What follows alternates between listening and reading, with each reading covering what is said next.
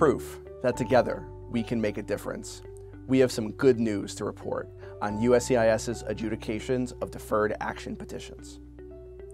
Yesterday, September 19, 2019, the House Oversight and Reform Committee announced that the Department of Homeland Security had alerted its members that USCIS would resume the acceptance and adjudication of non-military deferred action requests. Last month, without notice, USCIS began issuing denial notices for these requests, eventually confirming that it had, as of August 7, 2019, decided to stop accepting and adjudicating all non-military requests made at local USCIS field offices.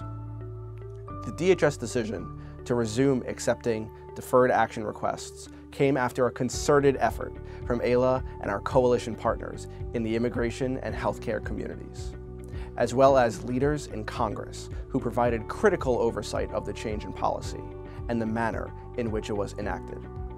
AILA proudly recognizes its members who played a significant role in shedding important light on this issue, taking action by encouraging members of Congress to hold USCIS accountable, and sharing stories of the impact on their clients with members of Congress and the media.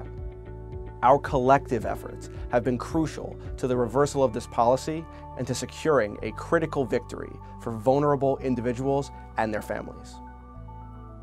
While this is cause for celebration, there is still work to be done.